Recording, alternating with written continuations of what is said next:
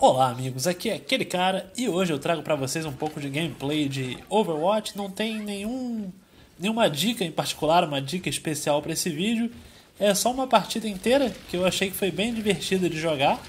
Uma das melhores partidas, na minha opinião, que eu participei nessas mil e tantas horas de Overwatch, sei lá. Então eu pensei, já que tem a ferramenta de replay, já eu gostei bastante dos eventos aqui, eu pensei, ah, de repente seria legal gravar um coaching de mim mesmo, ver o que, que eu fiz de certo, o que eu fiz de errado, ver como é que fluiu a partida e compartilhar com vocês mesmo, porque acaba que, tipo, na hora que eu tava jogando, eu pensei, pô, legal, eu fiz quatro ouros, tava com mais de mil de matriz por minuto jogando de diva e tal, e eu pensei, mas vamos ver quais foram os erros que eu cometi, o que, que eu posso fazer para melhorar, o que, que encaixou bem e mal no time, se teve decisões equivocadas ou não. Então já você vê que o primeiro push já vai ser bem sucedido nisso aqui, porque a gente estava com uma composição legal aqui. Eu decidi, já que a gente já tinha dado 3 picks, eu preferi, ah, deixa eu ver se consigo prender o porco aqui no fundo para ele não ir encher o saco no ponto. Deixa tentar deixar o máximo de gente possível fora do ponto para os meus aliados fazerem a limpa ali e tomarem.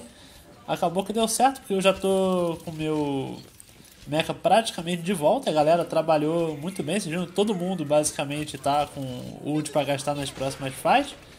Vai ter do nosso Reinhardt, do Zen, o nosso Genji. E normalmente o Diva eu gosto de tentar aqui pegar logo o high ground, porque às vezes vem alguém, por exemplo, a gente tem uma Ashe do outro lado.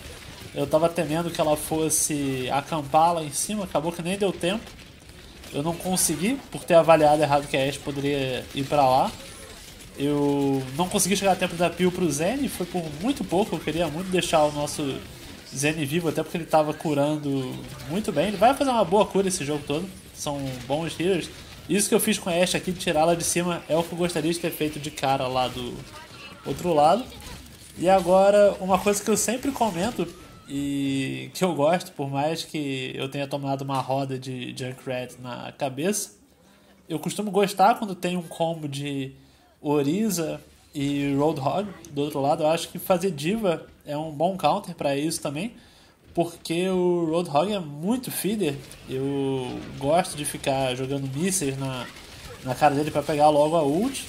E a Oriza, quando ela coloca o escudo, se você fizer a contagem do escudo dela, você normalmente consegue posicionar muito bem a sua ult Aqui no caso, como ele já tomou, eu deixei de ultar, de propósito, que eu sabia que a Oriza tava com a. Ela acabou de botar um escudo ali. E o nosso Zen tinha caído. Eu tô pensando, ou eu morro rápido, coisa que acabou acontecendo. Eu tava querendo ou fidar ali, tipo, atirar o máximo possível no porco para recuperar o meu mecha o quanto antes. Ou então morrer mesmo, pra gente já poder começar uma outra fight, ver se morria todo mundo logo, porque até. Isso aqui eu tô totalmente sozinho, não tem ninguém que eu conheça aqui, a gente tá até usando tem chat por áudio e tal. Aqui eu realmente não queria ser rocado, mas ó, Ana fazendo um bom trabalho pra eu não perder meu mecha. E eu espero poder capitalizar nisso, exatamente como eu falei, ó. Eu tô só esperando o escudo da Uriza, assim que ela botar, ela acabou de desperdiçar o escudo ali. Põe no ângulo que ela não vai poder se proteger e tchau.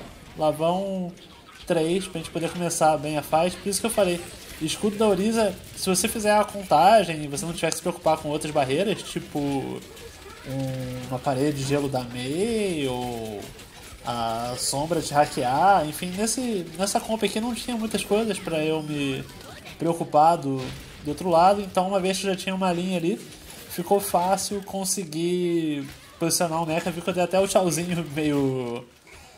Não gosto de dar teabag, mas eu gosto de dar o, o oi da diva, quando eu vejo que é um ult que provavelmente vai funcionar. Então, por isso que eu falei contra Roadhog e Oriza, de novo usei o porco para pegar meu mecha de volta. Pra mim é tipo.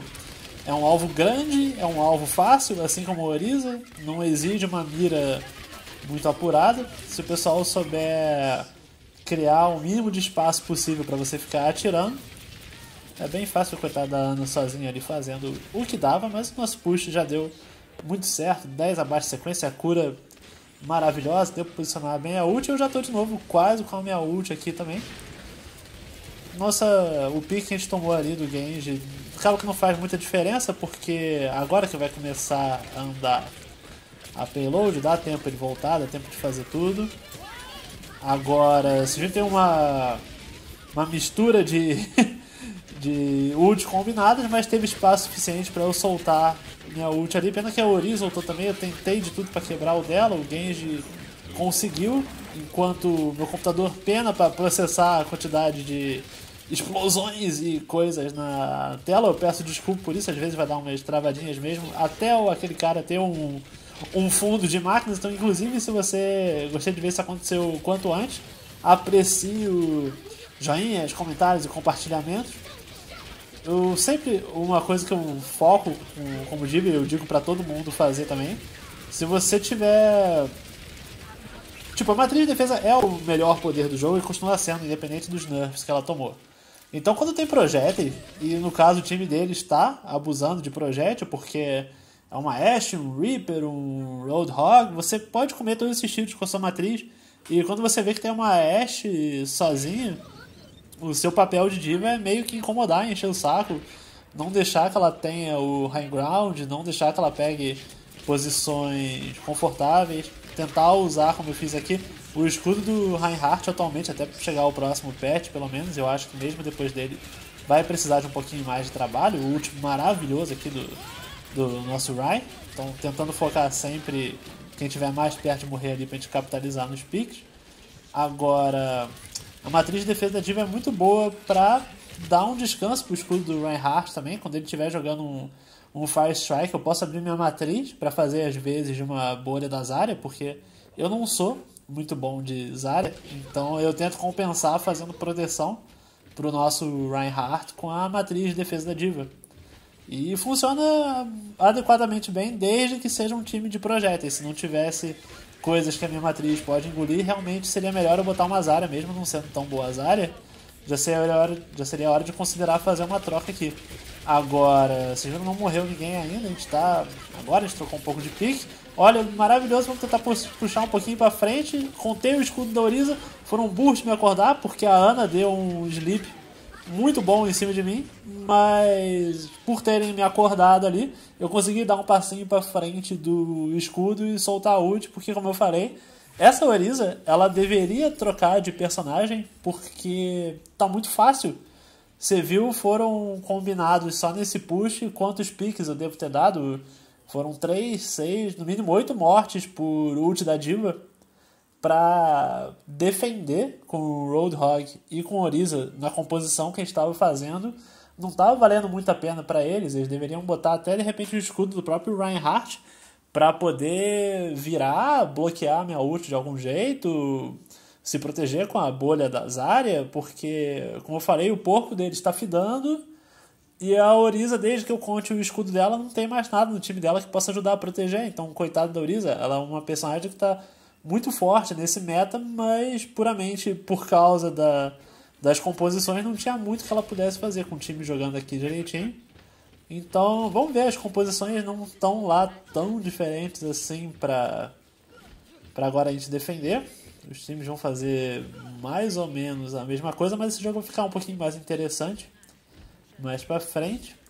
Agora, a despeito de tudo que eu falei, se eu fosse esse time funcionou, mas na teoria, defender com, com Porco e Oriza aqui, eu acho até que é uma boa, porque eles estão fazendo Porco e Oriza também. Então a gente poderia ter um escudo mais duradouro, vamos dizer assim, porque eu acho que o escudo do Reinhardt é sugado muito rápido. Então é bom ficar esperto com esse tipo de coisa. Pelo menos a gente tem o poder do Batista, estava jogando bem de Zenyatta, a cura da Ana tá boa também. Então, viu, já tentei gastar um pouco de matriz para manter o escudo do, do Rainben. Aqui a gente cometeu um erro, porque o campo do Batiste estava à frente do escudo, então eles quebraram rápido a nossa imortalidade.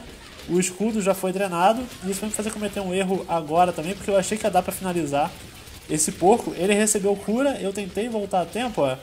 Tentando voltar, não deu, e com isso eu vou ser o primeiro pick do time, então acho que meu maior erro no jogo todo foi essa jogada aqui.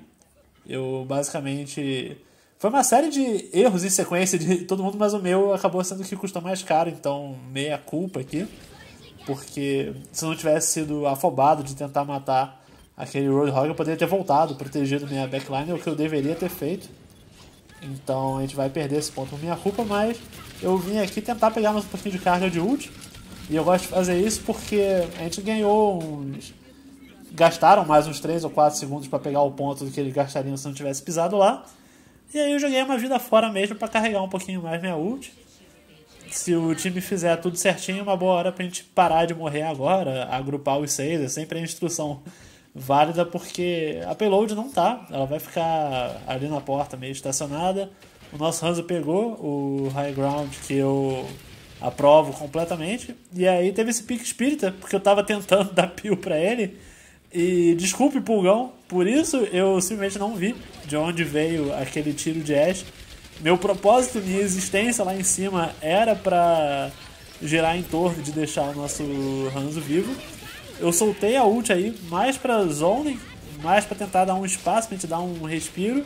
E porque eu vi que o Genji deles tá dando um pouco de trabalho, tá conseguindo, como ele usou ali, a Blade, tá abrindo bem espaço, tá forçando e avançando bem. Então eu torrei minha ult para tentar fazer um zone ali, ver se eu levava alguém e já fazer a troca. Peguei o macaco porque o Winston, agora no, na composição deles, como eles não estão com Reaper, como não tem. A nossa cura tá boa e tal, e eu posso proteger o nosso time com o escudo do Winston, eu já pulei na backline deles para ajudar a levar o Zen.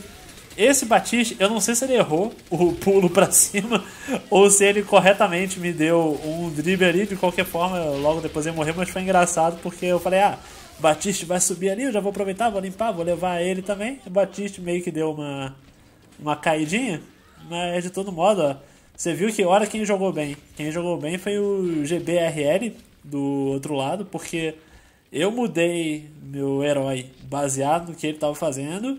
E ele agora acabou de pegar o maior hard counter possível de Winston. O Winston funciona muito, muito, muito mal contra o Reaper. Então eu já vi que isso aconteceu agora.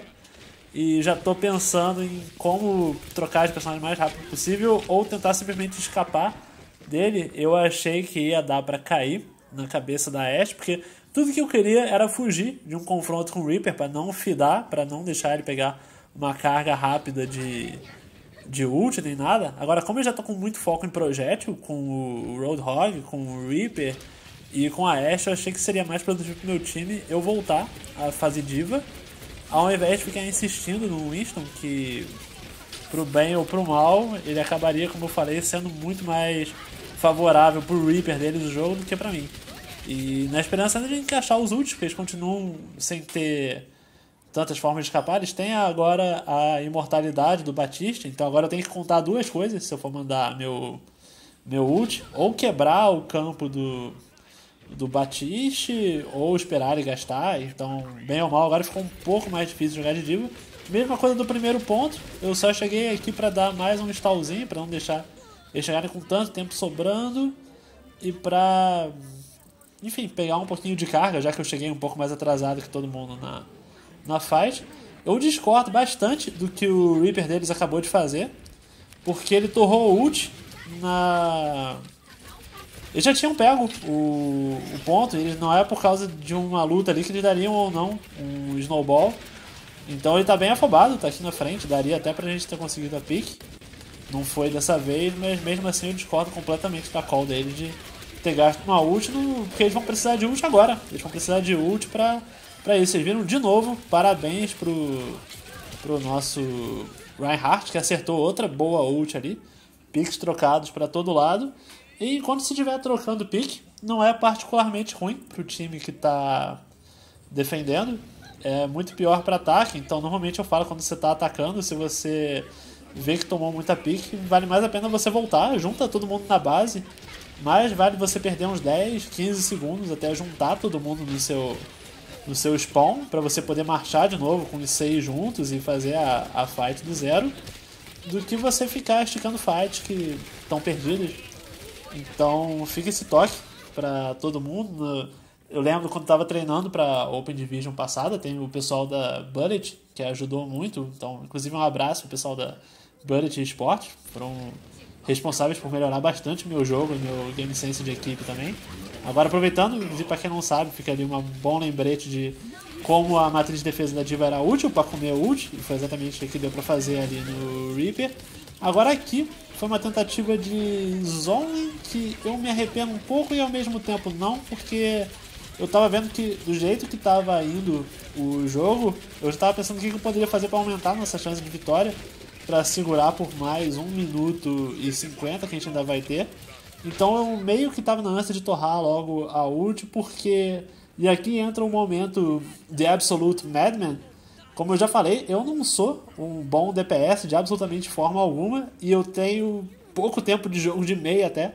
Mas como esse Reaper tá incomodando, por mais que eu tenha conseguido comer a, a ult dele, eles estão chegando com bastante força. O escudo do nosso raio, eu acho que a minha matriz já não tava mais, mesmo fazendo mais de 1500 por minuto, que tava essa altura do jogo já, não estava sendo bastante para evitar que o nosso Ryan tivesse sobrecarregado.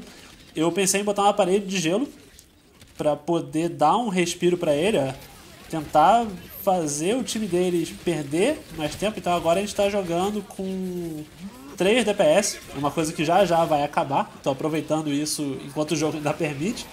Já daqui a 3 dias, quando estou gravando isso aqui, vai acabar essa temporada. A última que não vai ter a trava de 2-2-2. Eu pensei, ah, deixa de forma alguma aloprar, mas abusar um pouco do sistema como ele como ele tá agora, sobrecarregar ele com mais dano, mais tempo dando stall, mais enchendo de saco, porque a Mei, bem ou mal, mesmo caindo, tomando um ult na cara aqui agora, você viu, eu reclamei do uso de Reaper da outra vez, mas ele conseguiu farmar a ult bem, bem rápido, então... O Reaper é um personagem muito forte, justamente pelo quanto ele está enchendo o saco e sendo forte, que eu pensei que seria bom pro meu time poder dar um, uma estalada com o Mei. Você vê que agora ele já caminha para pro final, porque já está chegando o overtime, eles vão ter um push desesperado, bem ou mal, a gente já tinha uma vantagemzinha de tempo garantida. Agora, quando eles estão chegando com tanta pressão de um jogar um Bob, transformar a fight em 7 contra 6, eu concordo com esse uso de Bob, inclusive você viu que foi bom até para me matar. Eu tentei congelar o Bob não consegui. Parecia perdido, porque a gente bem ou mal tomou ali as piques em, em sequência, estão resistindo bravamente o Reinhardt com duas curas. Eu só pensei, nossa, tomara que eu consiga pelo menos carga suficiente para chegar e mandar uma ult. Não tenho experiência com meio, joguei a ult ali como dava, rezei para todos os deuses possíveis e imagináveis para pelo menos conseguir encher o saco deles, pelo menos tentar o tentar congelar aí o Reaper antes que ele pudesse, viu? Já tava de novo, de novo na pressão, mas foi um jogo de final feliz, foi um jogo que amei do desespero. Isso que eu falei. Não precisa se prender muito se você estiver confiante e achar que é a coisa certa a se fazer. Pega o personagem que você acha que vai estar counterando mais, vai estar ajudando a sua equipe, vê situação a situação. Esse jogo foi vencido assim, na emoção. Eu espero que vocês tenham gostado desse gameplay. Espero que tenha tido algumas dicas e diversão para vocês. E eu deixo até ao, aqui aproveitando a deixa eu gosto bastante dos vídeos de treinamento, tipo do Unit Loss e tal. Então, se alguém quiser me mandar vídeos para eu fazer com mais detalhes, pausando, avaliando, assim como eu identifiquei meus próprios erros, tentar aprimorar o jogo de vocês. Essa partida aqui eu não lembro se eu falei no começo não, mas era um misto de diamantes baixos com alguns platinas altos, então tava o joguinho legal, balanceado. Agora, qualquer ela que for, se vocês quiserem mandar vídeos aqui para análise no canal, só entrar em contato, vai no sobre, tem meu e-mail chega lá, manda aqui um comentário também, de conversa certa nisso. Mas até lá, fica meu muito obrigado para você que assistiu até aqui. Não esquece, como eu falei, um joinha, comentário ajuda demais o canal, compartilhamento com os amigos. Mas obrigadão para você que viu esse vídeo. A gente se vê no próximo vídeo de Overwatch do canal. Aquele abraço, galera. Até a próxima.